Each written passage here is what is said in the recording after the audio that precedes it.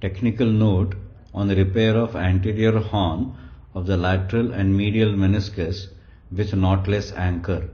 The authors do not have any conflict of interest and there are no disclosures. A diagnostic arthroscopy is done using standard arthroscopy portals with patient in supine position at 90 degrees of flexion. The tear of the anterior horn of the lateral meniscus is confirmed. The probe is passed from the AM portal to identify the presence of cyst below the intermeniscal ligament. The scope was switched to AM portal and the cyst was then entered from outside in with an 18 gauge spinal needle to locate the position of the cyst.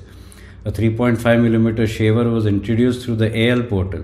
The fat around the cyst wall was shaved and the cyst was exposed. A punch biopsy was taken and sent for histopathology. The cyst fluid can be seen extruding out, confirming the intracystic location of the shaver tip. The cyst wall was completely excised with the help of a shaver and a radiofrequency ablator.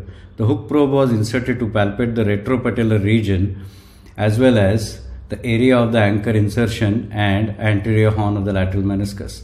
A number 2 fiber wire was loaded on a self suture retrieving device and a stitch was taken through the meniscocapsular junction.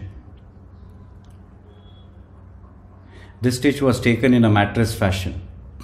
Another stitch was taken similarly to cover the entire length of the tear with the help of antegrade suture passing device.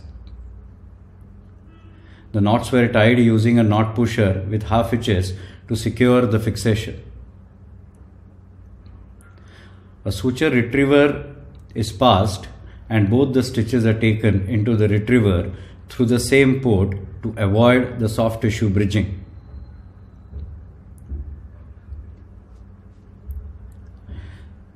Then the attention is directed towards the preparation of the anterolateral aspect of the tibia for anchor fixation.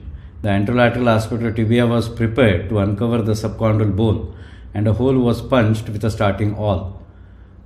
Taking care of the soft tissue bridge, a 4.5 mm knotless suture anchor was inserted in the previously punched hole.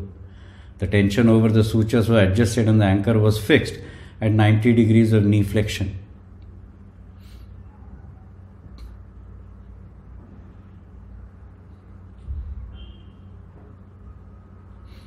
The procedure is completed by cutting the suture ends and examining the final repair.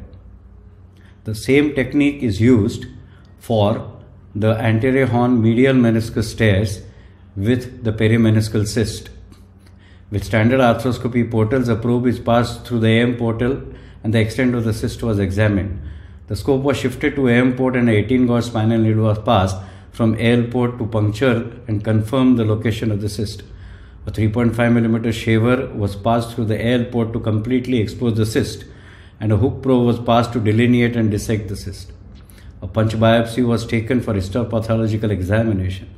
The cyst fluid is seen extruding at this point in time. Complete cyst evacuation was carried out with the help of a hook probe, and cyst wall was shaved off, exposing the anteromedial aspect of the tibia. The capsular rent was identified and the repairability was confirmed with the tissue grasper.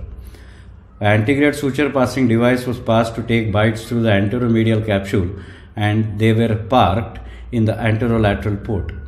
Now the attention is diverted to anterior horn of medial meniscus. A stitch is taken through the meniscocapsular junction of the anterior horn of the medial meniscus in mattress configuration. The arthroscopic knot is tied with a knot pusher.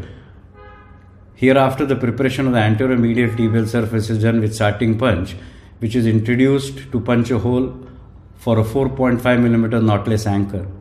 The meniscocapsular sutures are threaded through the anchor and the anchor is deployed. After cutting the sutures from the anchor, the capsular stitch is tied to reattach the capsule, completing the repair. Hook probe is then passed to examine the final repair along with the intermeniscal ligament. Thanks for watching.